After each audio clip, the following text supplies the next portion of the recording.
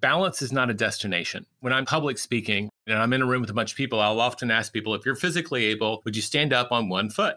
And I'll say, great. Are you balanced or are you balancing? And everybody's like, I'm balancing. And I'm like, thank you. It's a verb, it's not a noun. So there's not this place where you get everything in your life so organized. It's not a destination where I'm in balance, everything's great. You have to do it, and it's an active thing. And the reality is, great businesses figure out what their one thing is, and they're really relentless about pursuing it.